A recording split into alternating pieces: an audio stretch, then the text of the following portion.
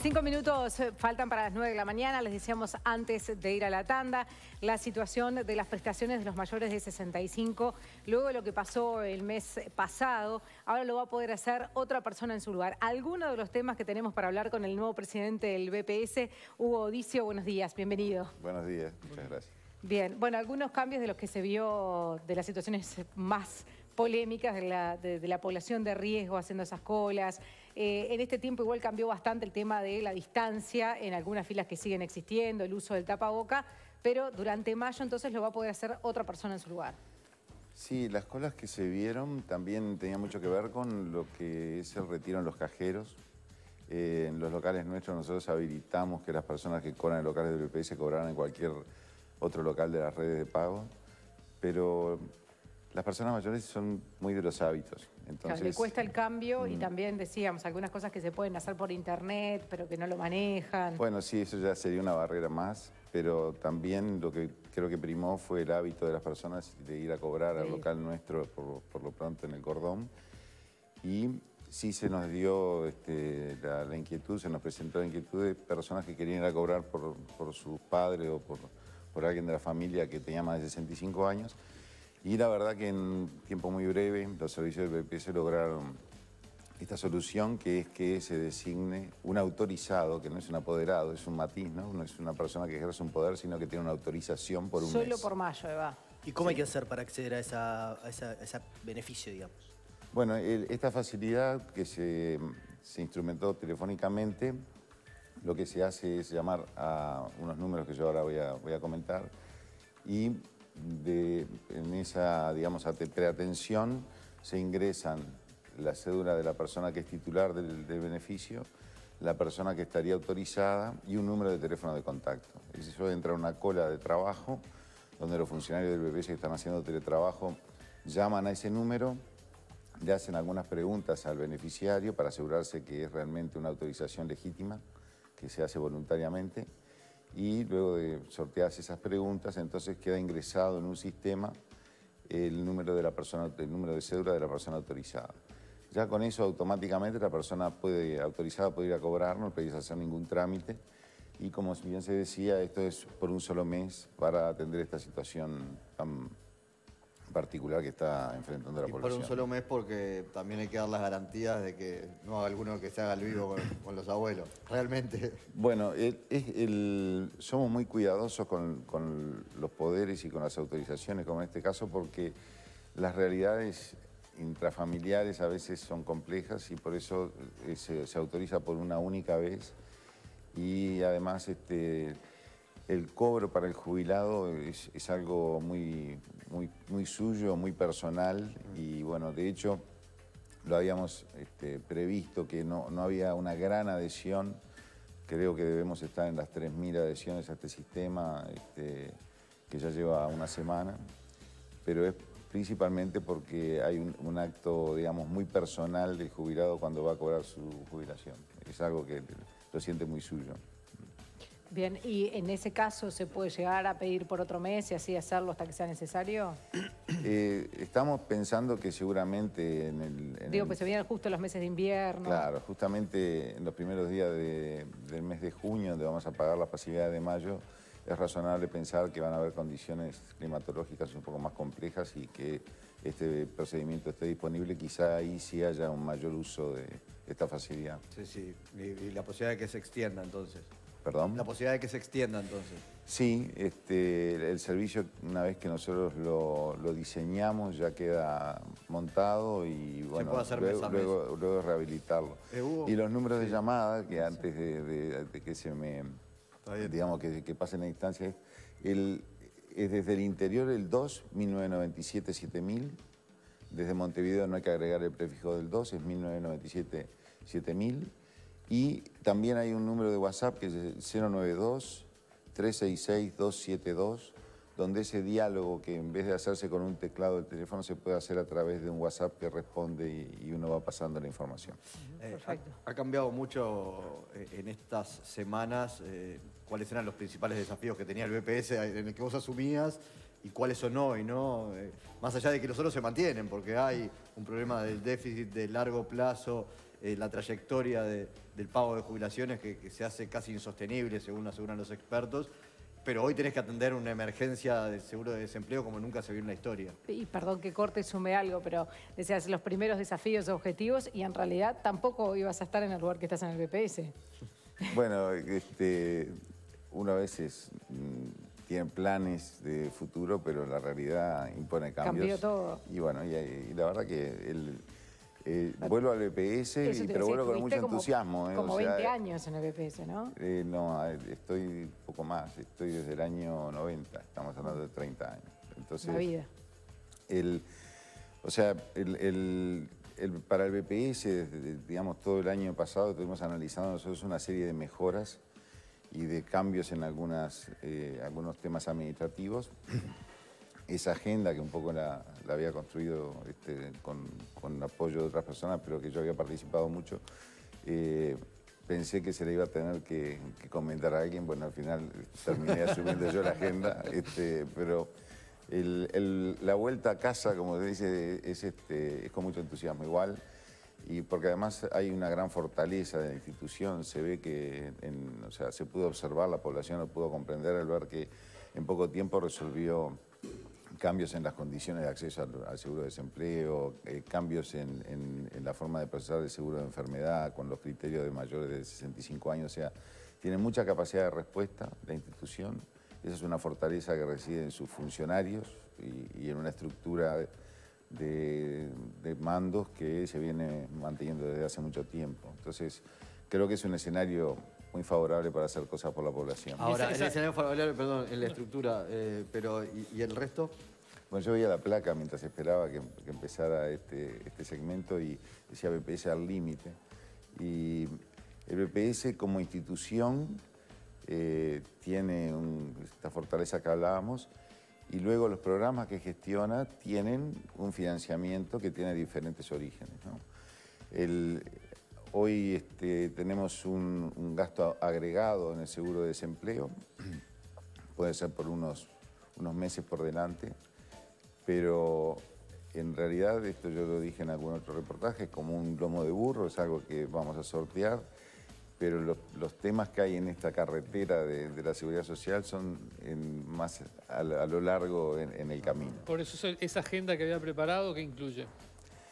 Incluye algunos aspectos como un, digamos, un aumento importante en las coberturas de subsidio de enfermedad, que en el pasado, no hace tantos años, generó incluso algunas situaciones de fraude. Eh, como todo beneficio que pretende eh, atender ciertas contingencias de la vida de las personas, hay buen uso y a veces hay un uso un poco indebido. Este, creemos que, que en sus inicios tuvo una cierta laxitud del control en el subsidio de enfermedad y, y yo tengo amigos que trabajan en la salud que a veces cuentan que hay personas que van a varias puertas hasta que logran un lugar que lo certifiquen y este, creo que son, ese es uno de los Bueno, aspectos que tenemos que mejorar. Acabamos de verlo en una institución pública que la, la jerarca puso un incentivo para los que iban a trabajar porque si no se certificaban todos. Eh, lo ha dicho también el presidente Mujica, el ex, cuando era presidente Mujica, que teníamos un problema con las certificaciones excesivas. Es decir, parece haber un problema Y ahí en los grande. últimos ¿no? años trasladado al sector privado también, ¿no? El- el Sí, en mismo. particular el caso del INISA, que sí me, no- me fue consultado, no son trabajadores que estén amparados por el, el seguro de enfermedad del BPS.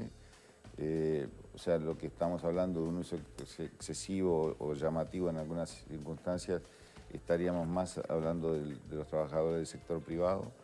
Y en el caso del sector público, el seguro de enfermedad lo cubre la propia institución y, y no hay pérdida salarial. Entonces, este, ahí son otras realidades y otros controles también.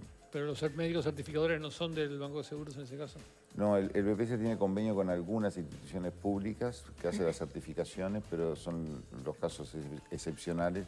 Ahora sí hay una, una de, de las, este, de, de- de los proyectos que hay en, en el camino, digamos, a, a futuro es unificar el sistema de certificaciones para todos los trabajadores en el propio BPS. O sea que hoy el, el problema más grande es en el sector privado con el tema. Sí, hoy eh, podemos decir que el problema mayor es- se presenta en el sector privado. Ajá.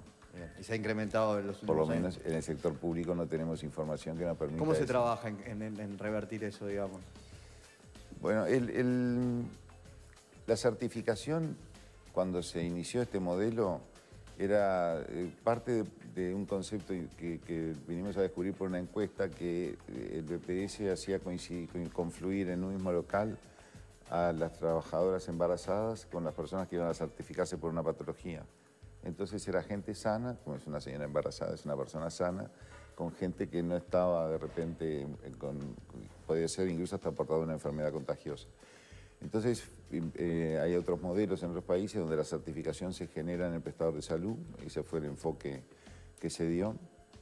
Y el- allí, digamos, en, en sus inicios eso mm, quizá no hubo una tutela suficiente de cómo hacer que el, el- el médico al, al otorgar la certificación eh, fuera, digamos, eh, aplicar, aplicar los mismos criterios que se aplicaban por los médicos certificadores.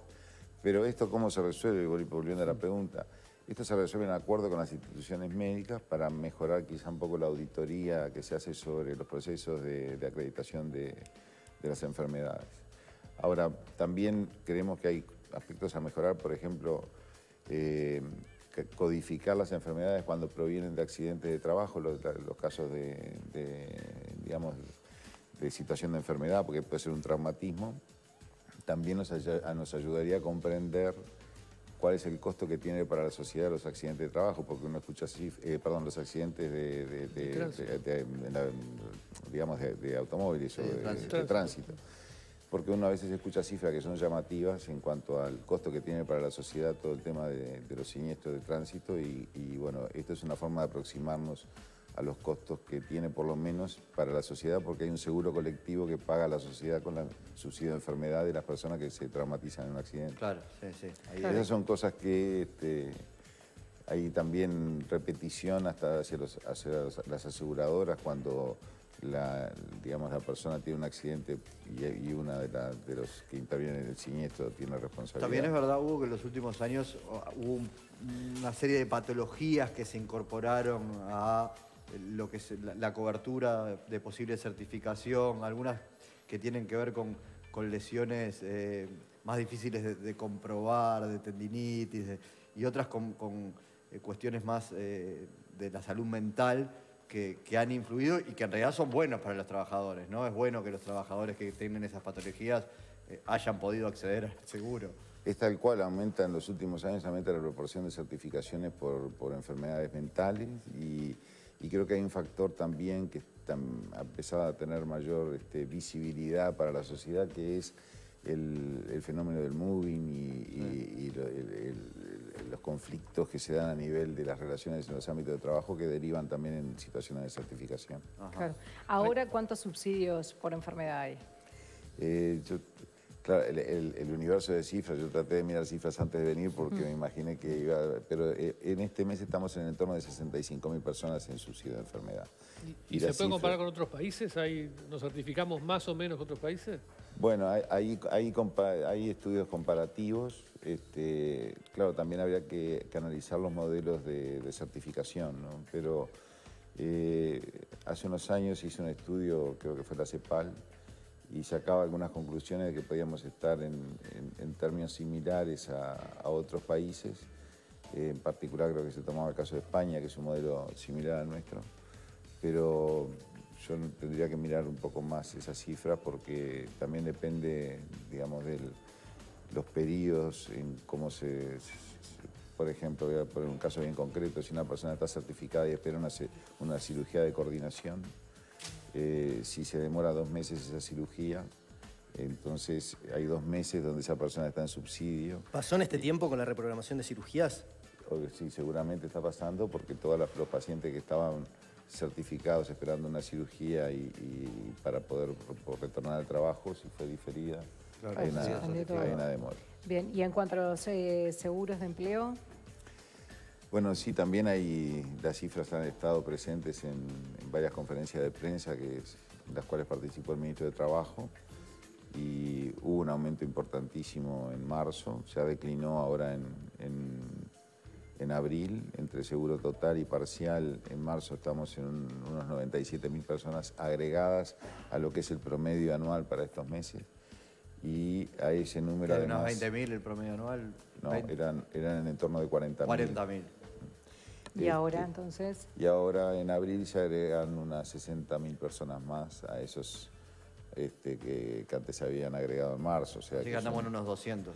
Sí, en, en- en, digamos, de agregados unos 160 mil. que hay- Más sí, 40.000 va- habituales. eh, después, eh, como parte se traspasan, se quedan mezcló. 30 37 mil de los que venían en el régimen anterior permanece. y así todo se habla de la falta de protección social todavía.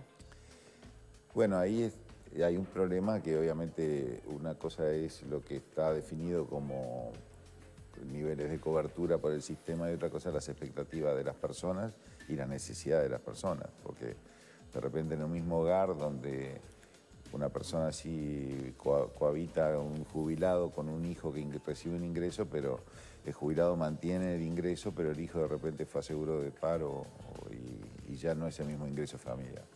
Ajá, va cambiando mucho familia por familia. Decía que hay 65.000 eh, licencias por enfermedad más o menos. Eh, ¿Cuánto es lo habitual? ¿Cuántas más hay por los mayores de 65, cuarentena? El- la- la lo habitual andan en el entorno de las 30.000. Lo que pasa que acá lo que se agregan también son las personas mayores de 65 Claro. años, que no necesariamente tienen una patología. que no están sino- enfermos. Casi que se les está pagando un seguro de desempleo por otro lado o algo así, ¿no? Podríamos decir que es como eh, un, un acto claro de medicina preventiva. Está bien. Digo, pero porque vos seguís agregando y acá tenés ya sumando más de 250.000 personas atendidas de alguna manera por una prestación del Estado con- con- ante esta situación. El problema es que tenés otras 250.000 que no lo tienen, ¿no? Más o menos, 300.000, que estaban en la informalidad. Sí, el- allí en, en- en ese terreno que ha sido bastante este, motivo de bastante atención las últimas semanas, eh, las personas que están fuera del, del sistema, como podríamos decir, este, tienen en algunos casos otro tipo de cobertura. Pueden tener la tarjeta este, Uruguay Social, este, pueden tener las asignaciones familiares Plan de Equidad y no están en el mercado formal de empleo. Claro. Ese uno de cada cuatro que no aporta al, al BPS, porque no aportaba. Sí, es, es una cifra que andan en el torno del 25% de la población económicamente activa, pero que de alguna manera tienen un ingreso que hoy no está pasando por lo pronto por el sistema de cobertura. ¿no? Y los jornaleros, por ejemplo, que no llegan al mínimo, quedan fuera. La gente que trabaja por jornales. El, el seguro de desempleo tiene ciertos requisitos para el ingreso, que es una antigüedad, si se es mensual, una, cot- una- un aporte durante seis meses mínimo en el último año, y 150 jornales en caso de ser jornalero. Sí, tenemos presente que hay personas que no cumplen esas condiciones y se ha venido estudiando por parte del Ministerio de Trabajo algún tipo de adecuación del sistema de cobertura, pero obviamente, eh, como recién lo señalaban, son números que este, no llevan al límite al BPS, como decía de la placa, pero que sí estresan y tensionan las finanzas públicas. O sea que va a ser un año complejo para el BPS. Pero en ese entonces, sentido. eh, eso está en estudio, digamos. Está por lo menos en, en la agenda de temas, no es solo este, el- hay un permanente seguimiento de parte del gobierno de lo que es la protección a la población en esta peculiar situación en la cual nos encontramos, pero este es uno de los temas que puede estar en análisis en la próxima semana. Bien, porque No, muchos... le preguntaba, Pero sí. una pregunta así. Sí, sí va a ser que, de- a pesar de que no está al límite el BPS, sí va a ser un año complejo para, para el Banco de Previsión Social el 2020. El, el Banco de Previsión Social, conforme al ordenamiento jurídico, eh, determinadas prestaciones eh, son financiadas por rentas generales, o sea que no, no hay, fin- digamos, el, el- el- el déficit. Tiene que pagar, digamos. El déficit que, que tanto el de EPS es que el EPS parece muy rico, pero en realidad es bastante Claro, pobre. O sea que el- el- entonces, el- lo que ocurre es que estos programas, bueno, desde la asignación familiar, el subsidio por desempleo, incluso el subsidio- por enfermedad, ya que lo que se recauda por FONASA va a los prestadores, todos estos programas se financian con rentas generales. Y rentas generales que a veces cuando, cuando se discutían normas, dice, bueno, que lo paga rentas generales, ¿no? Desde hace muchos años. Como si fuera algo que se llenaba de noche y se podía vaciar de día. Bueno, rentas generales somos todos. O sea, somos todos los que pagamos impuestos, somos todos los ciudadanos que en, en alguna medida estamos dentro de la economía formal y cuando los recursos de rentas generales no son suficientes para pagar las necesidades de funcionamiento del Estado y de la protección social, es donde el país endeuda. O sea, y también pueden endeudarse por inversiones, por otros motivos, pero también, en este caso, si los recursos propios no son suficientes, el Ministerio de Economía estará analizando cuáles son las fuentes de financiamiento, pero por suerte el, BPS en ese sentido, en lo que es la gestión de las prestaciones, está muy lejos de un límite en el sentido de que las capacidades de, gestionar la seguridad social creo que las ha demostrado en los últimos años. Está el límite es el Uruguay. No, creo que hoy el mundo está pasando por un momento que, realmente es desafiante, pero la humanidad ha superado estas situaciones. Eh, la pregunta que nos hacemos todos es cuánto tiempo nos va a llevar, pero creo que hay mucha gente pensando en cómo salir de esto mm, a nivel de todo el mundo. ¿Mm? Muy bien. Hugo Dicio, muchísimas gracias por acompañarnos. A las órdenes, gracias por la invitación y la oportunidad de explicar. Hablemos ahora de la ministra de Economía, de Azucena Arbeleche, reconoció en una entrevista que realizó con el diario El